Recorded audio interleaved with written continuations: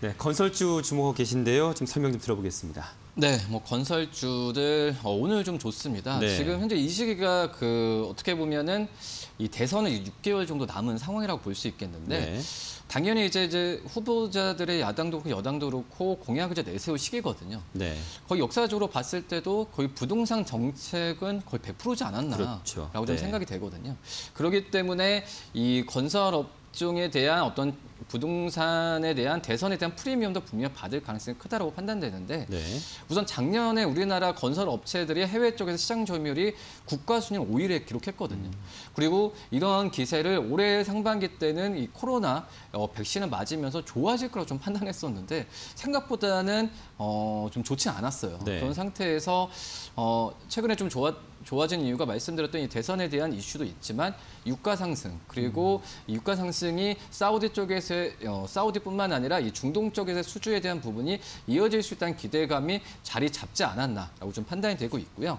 그렇기 때문에 이 건설 업종에 대한 부분은 어, 물론 이제 올해 어, 2, 3분기 때 다른 업종 대비 좋지 않았는데 이제는 어떤 반등 모멘텀을 이제 찾을 만한 지금 현재 시기다라고 볼 수 있겠고 저가 매수 관점에서는 충분히 들어가도 괜찮지 않을까 이렇게 보입니다. 네. 자, 관련 종목들 현재 섹터 흐름도 좀 살펴보면서 이 중에서 가장 주목하신 종목까지 들어보겠습니다. 네, 오늘 뭐 좋죠. 현대건설도 2.01% 상승세를 보여주고 있고, 그리고 GS건설도 지금 3.11%, 그리고 이 DL ENC, 뭐그 전에 뭐 대림사나 볼 수 있겠는데 0.71%의 상승세를 좀 보여주고 있고요. 어, 가장 이제 그 관심주가 삼성 엔지니어링 네. 오늘 좀 말씀을 드릴 텐데 이 삼성 엔지니어링 같은 경우에는 어제 뭐 탄소에 대한 그 정책 그리고 이 사우디 쪽에서의 이 파트너십에 대한 부분에 있어서 어제 12% 넘게 급등했거든요. 네. 하지만 급등했지만 이런 상승세를 오늘도 이어가고 있다라고 좀 볼 수 있겠는데 역시 뭐 삼성 엔지니어링 같은 경우는 이 일반 건설사라고 하기에는 어, 사업 분야가 굉장히 넓거든요. 뭐 EPC 하면서 설계부터 시공 뭐 그리고 건설까지 다 두두두루 할수 있는 그런 능력을 갖고 있는 게 바로 이 삼성 엔지니어링의 강점이라고 볼 수 있겠고요. 뭐 그러기 때문에 이 삼성 엔진도 최근에 어떤 4대 어, 자사의 산업에서 암모니아 비료처럼 이 어떤 건설과 좀 약간 동떨어진 그런 산업을 추가하면서 이 종합적인 어떤 이 건설 업체보다는 건 EPC 기업으로 탈바꿈하는 과정이지 않을까라고 좀 판단이 되고 있고요.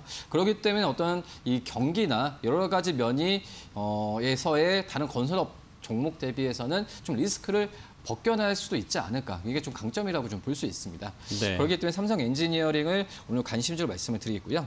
목표가는 어, 32,000원, 지금 이제 27,200원을 기록하고 있는데 어, 32,000원, 손절가 25,000원 말씀드립니다. 네. 자, 지금 유가도 연일 지금 오르고 있습니다. 어, 간밤 뭐 WTI 유가 보면 배럴당 72달러 넘어서고 있거든요. 어, 관련 또 수혜가 될 수 있는 삼성 엔지니어링 주목하고 계셨습니다. 자, 오늘 KTB 투자증권 여의도점의 이성훈 과장과 함께했습니다. 오늘 말씀 고맙습니다. 네, 감사합니다.